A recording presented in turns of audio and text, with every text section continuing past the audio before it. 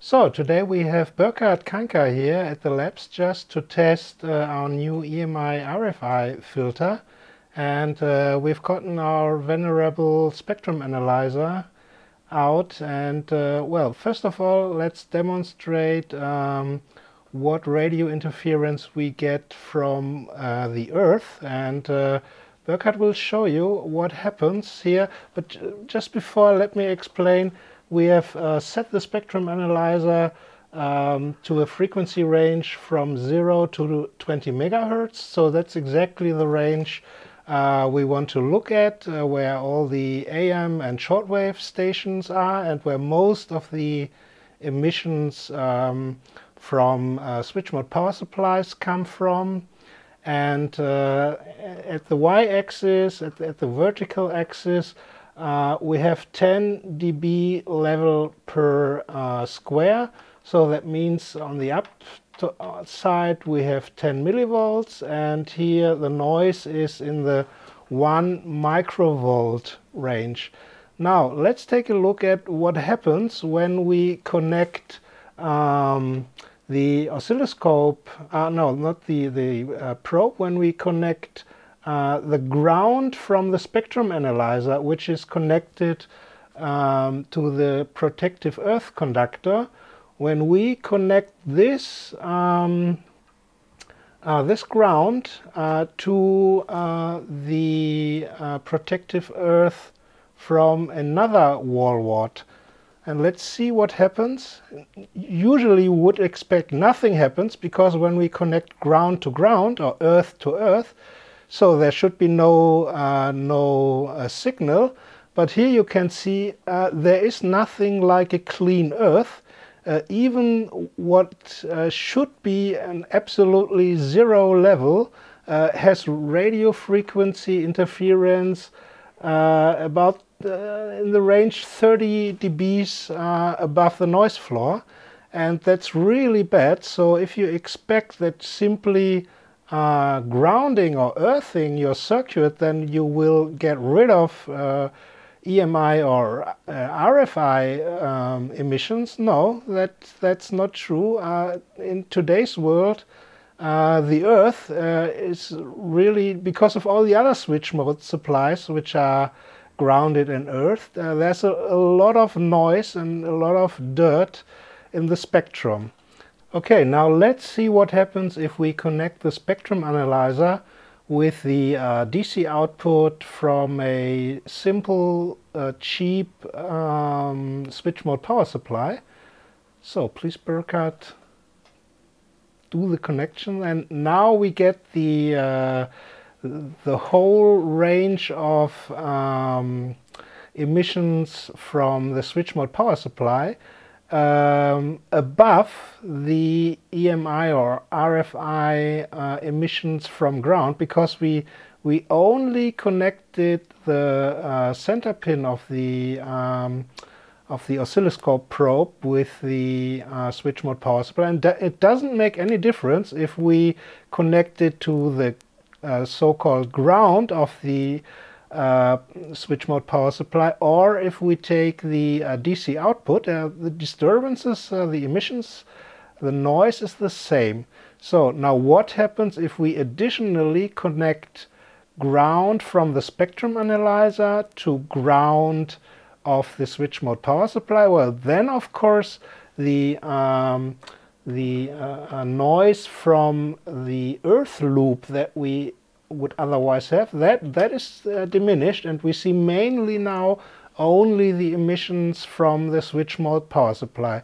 So, and you can see it goes up to the uh, millivolts uh, range in uh, level. So that's quite a lot. And if you do um, really sensitive uh, either analog measurements or uh, radio reception, uh, then a millivolt of level in, in uh, this range, which is the whole spectrum from uh, long wave, medium wave, also AM radio and shortwave, uh, you will only hear noise and not, in, in the worst case, not a single transmitting station.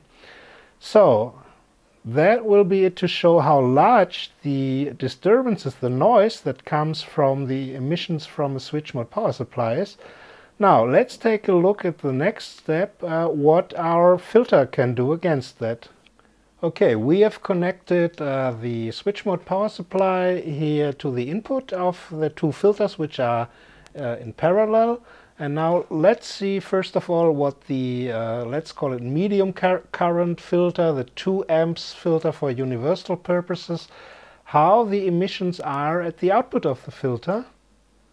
And they are below the noise of uh, the spectrum analyzer, which means we have at least 60 dB damping of all uh, radio frequency emissions from, well, let's say we can't see here the very low frequencies below 100 kilohertz, uh, but we have a damping of at least minus 60 dB in the range from 100 kilohertz to 20 megahertz, and I think that's quite impressive, and it's only a perf board prototype, and perf board does not derive from perfect, no pun intended, uh, it's it's the most imperfect um, high frequency prototype build up you can do and if even this perf board uh, prototype is well for me quite impressive um, how it filters out the all the emission uh, that's uh, uh, better than I expected. Now let's take a look at the high current at the 10 amps filter which is a bit more simple but can um, can deliver up to 10 amps and what do we see? Well, there is some remaining noise. It's not as good, and that's also exactly what I expected. Uh, the uh, filter that is here in the uh, current compensated choke, uh, it's not as good as this big Telema uh, brand type one. Uh, anyway, it's it's still, I would say, a, damping of around 40 dB, so it's 20 dBs worse, but if you need the 10 amps uh, or more than 2 amps, then uh, it's still quite uh, good. So for a first impression, I think uh, we can be quite content and can continue developing um, a um, PCB for the uh, for the filter so now you still might say, well, Roger and Burkhard, uh, but that was not a real measurement because you had no load connected. Well, the, we did this on purpose because we first wanted to show uh, the efficiency of the filter without a load. And now let's take a look at what happens with a load. Um, we have the uh, here the emissions, the spectrum, uh, until now without a load uh, in front of the filter and now let's see what happens with the emissions um, when we put a load on. We've, we've connected um, some light bulbs um, and they uh, take about 300 milliamps and you see what a big difference. Uh, it's unbelievable uh, how the emissions increase when you uh, put a load to the switch mode power supply.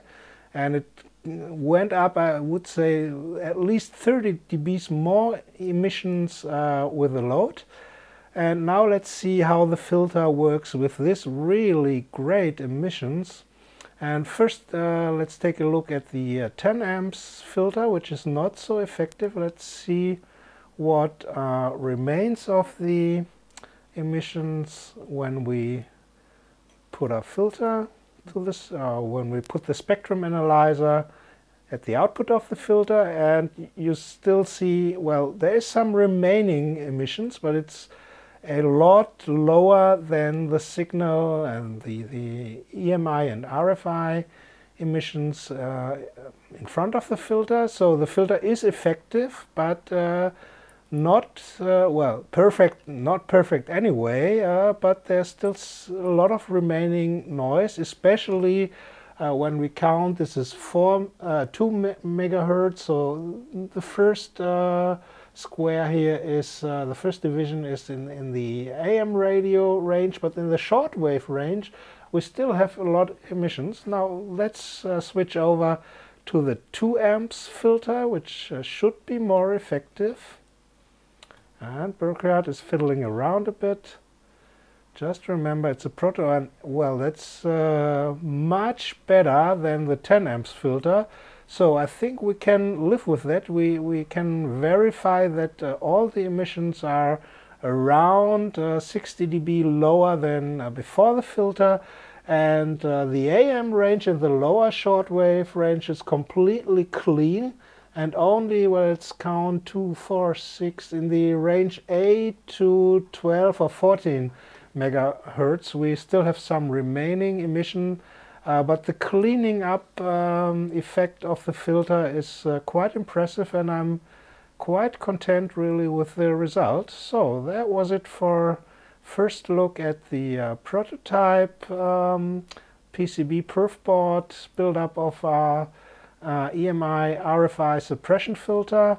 And I would say for this time it's enough. Uh, we say goodbye from Kainka Labs, bye from Roger, and bye from Burkhard. Until next time.